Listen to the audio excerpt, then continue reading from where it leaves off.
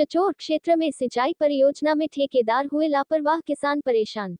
चचोर तहसील रामपुरा जिला नीमच, मध्य प्रदेश, एमपी से लेकर दिल्ली तक विकास के नाम से प्रसिद्ध मनासा तहसील में ये क्या हो रहा है? जी हाँ, हम बात कर रहे हैं चचोर क्षेत्र के बेहद क्षेत्र में सिंचाई योजना की पाइपलाइन डालने का कार्य जिस गति से चल रहा था।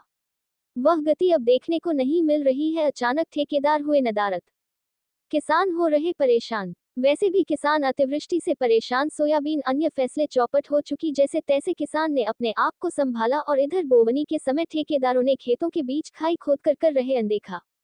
अब किसान हकई जुताई कैसे करें? ठेकेदारों तानाशाही और लापरवाही से किसान हो रहे परेशान। खेतों के बीच खाए खोद कर ठेकेदार हुए नदारत।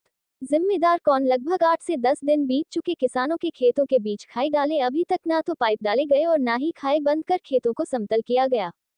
और ना ही ठेकेदार दिखाई दिए। जनता के प्रतिनिधि संबंधित अधिकारी इस और ध्यान दें।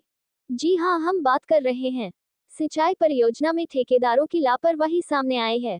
चचोर से बंदड़ा रोड खातिया खेड़ी बालाजी के नज़दीक ठेकेदार द्वारा खेतों के बीचों बीच खाए खोद कर ठेकेदार हुए नदारत जबकि अभी बोवनी का समय है, ठेकेदार को साथ साथ कार्य कर खेतों को समतल करना चाहिए, पर ऐसा यहाँ पर कुछ देखने को नहीं मिल रहा है। अब ठेकेदार कौन है, ये पता नहीं चल पाया है। अब बोवनी के समय भी ठेकेदारों की लापरवाही।